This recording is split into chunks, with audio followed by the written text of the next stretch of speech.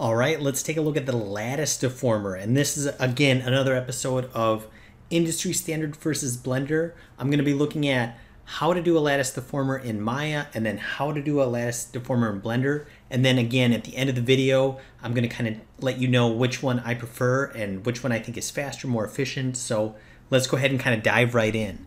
So I'm going to start with Maya. And okay, I've got my character here. And let's say if I wanted to make some edits, okay, let's say if I wanted to kind of like deform the mesh and pull it and kind of stretch it, that type of thing, well, I can add a lattice deformer. So if I'm in the modeling menu set, I'm going to go up here to deform, and then here's lattice. And I want to make sure that the object is selected first.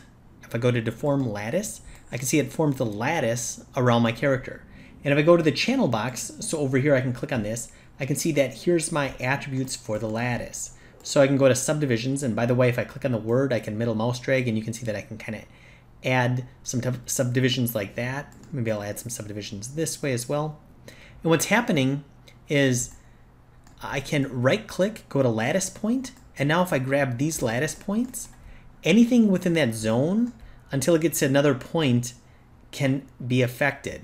Okay, so if I wanted to kind of affect more, I could kind of go like this, and you can see how I can kind of stretch that. So if I wanted to kind of make, um, I don't know, kind of more cartoony proportions, I could come here and I can go like this. So instead of kind of like trying to grab all of your points, um, you can kind of just grab like influence points, if you will. And maybe I go like this and maybe I scale. And you can kind of see here that I'm getting kind of an interesting look by just kind of um, affecting the points that are affecting the object. And, and there you can kind of see how I'm getting that. One thing I want to point out is if I grab this shape, and if I move this out of the lattice zone, you can see it becomes back to normal. And then if I go like this, okay, it's now warping back to kind of how it was in the lattice. So I can see that that's really um, kind of cool. And if I wanted to con um, confirm this, I could just go to Edit, delete by type history, and now the lattice is gone and, and this is kind of my new model. So that's how the lattice looks in Maya. Let's take a look at how the lattice looks in Blender. Okay, so I've got the same shape here and I want to add a lattice. So what I'm going to do is I'm going to do Shift A and then you can see here's lattice down here. I'm going to go ahead and add a lattice and there it is in my scene. I can press S to scale. I'm just going to make that kind of big enough like that. And um, if I press S and then if I do um, X, now it could scale this way, okay? Okay, great. Now it's fitting in there. And now I want to uh, give it some more divisions. So on this lattice, I can come down here to the object data properties and I could type in my numbers and you can see, I believe this is exactly the same numbers that I had in Maya. Okay, no, I want to do, uh, I think two here, and then maybe five here. It, it doesn't obviously really matter, but just so you can kind of see apples to apples comparison. And now, once I'm done, you might think, well, now I can start pulling these, but actually we still have to do one more thing. If I select my object, the object doesn't know about the lattice yet.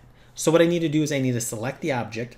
I have to go to my modifier on this wrench and then I go here, and then I click on lattice. And by the way, if I'm just here, I can middle mouse, wheel, and it's gonna kind of go up and down the list, so that's kind of cool.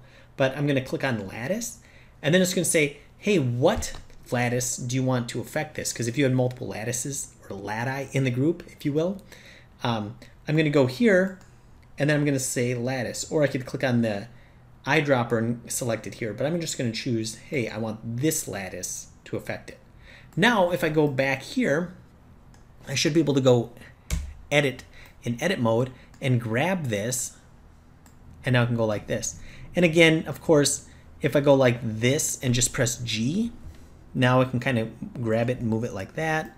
I could grab this, G, G,